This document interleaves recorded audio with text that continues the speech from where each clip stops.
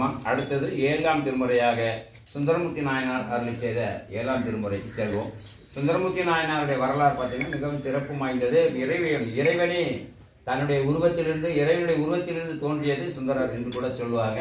அந்த வகையிலே ஒரு முறை கைலாயத்திலே இறைவனை பூ பூக்களால் வழிபாடு செய்ய வேண்டும் என்று நினைத்து அந்த நந்தவனத்திற்கு சென்று பூ பூக்களை பறித்துக் கொண்டிருக்க போது அந்த பெருமானுடைய தோழிகளாக இருக்கக்கூடிய இருவரும் அதற்கு அடுத்தாப்பில் இருக்கக்கூடிய நந்தவனத்தில் அவர்களும் பூப்பறிக்க வருகின்றார்கள். இரண்டு பேரும் பூப்பறித்துக் கொண்டிருக்கும் போது அணிந்தே கவனடி என்ற இருவர் இருக்கிறாங்க.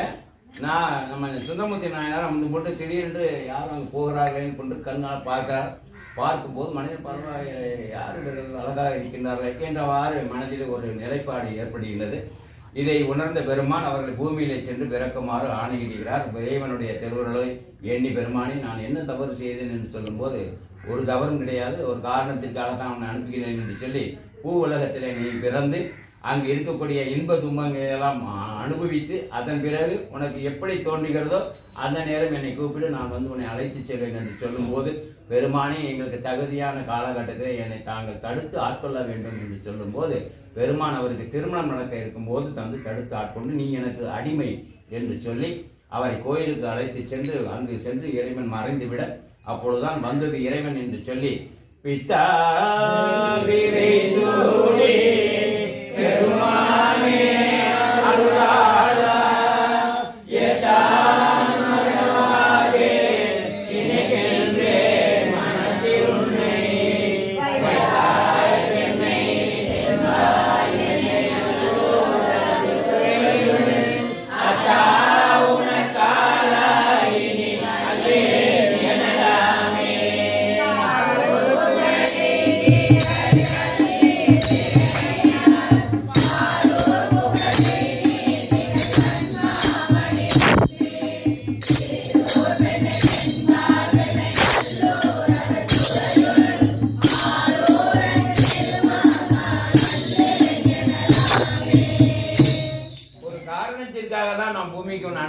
சாமி சொல்லும்போது அந்த காரணம் என்னவென்று இந்த பாடல் நமக்கு தெரிய வருது. ஏன்னா அறுபத்தி மூன்று நாயன்மார்களை பற்றி சொல்லக்கூடியதுக்காக அந்த நாயன்மார்களை உலகறிய அப்படின்னு சொல்வார். தெய்வ சேர்க்கிறார் உலகறிய விரித்துரைத்தன்னு சொல்வார். இந்த உலகமெல்லாம் அவர்களை பற்றி தெரிந்து கொள்ள வேண்டும் என்று ஒவ்வொரு நாவு ஒவ்வொரு நாயன்மாருக்கும் ஒவ்வொரு வழிபாடு உண்டு ஒரு நிலைப்பாடு உண்டு. அவர்கள் எடுத்த கொள்கையிலிருந்து மாறாது வலுவாது எந்த துன்பம் வந்த போதிலும் அவர்கள் அந்த நிலையிலிருந்து மாறுபடாமல் இருக்கக்கூடிய அந்த தன்மையை உலகத்திற்கு எடுத்து காட்ட வேண்டும் என்பதற்காக பெருமான் அவரை இந்த பூமிக்கு அனுப்புகின்றார்.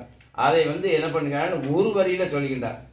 அதை தான் தெய்வ செய்கிறார் விரித்து உரைக்கின்றார். அந்த வகையிலே தில்லை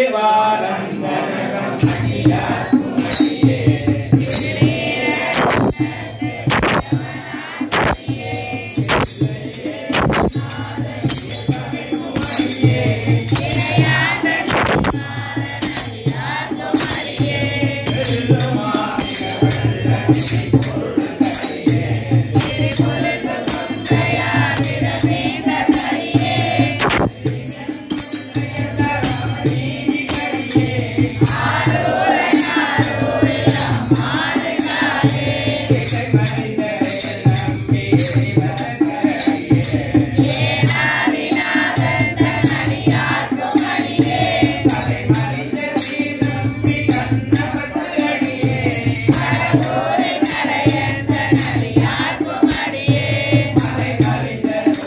வாழந்தனகம் Yeah.